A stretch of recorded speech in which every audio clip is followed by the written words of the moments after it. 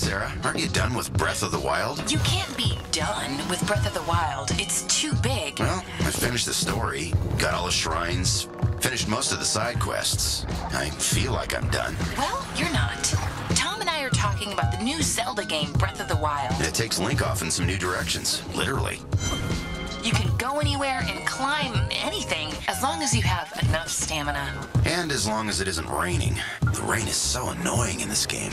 But it makes it feel like a world, which is what's so great about this game. It's so fun just walking around with Link and exploring. You can find shrines and hidden quests. But the downside is oftentimes you don't know where you're supposed to go.